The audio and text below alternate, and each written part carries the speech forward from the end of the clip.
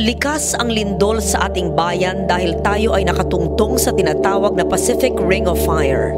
Ang babala ng sayantipiko, muling gagalaw ang West Valley Fault sa Kamaynilaan. Batay sa Metro Manila Earthquake Impact Reduction Study, posibleng malaking pinsala ang itudulot ng napipintong lindol.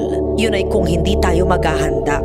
Ngayon pa lang, dapat malinaw na ang gagawin ng bawat pamilya, bawat komunidad at ng mga otoridad at lokal na pamahalaan sakaling sumapit ang mapinsalang lindol. Hindi pwedeng magsawalang bahala, hindi pwedeng kanya-kanya. Magtulungan tayo para maibsan ang panganib ng sakuna sa ating mga komunidad.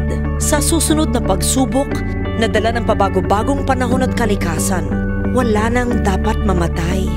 Walang tahanan ang dapat masira at walang kabuhayan ang dapat mawala. Panahon na para iligtas natin ang isa't isa.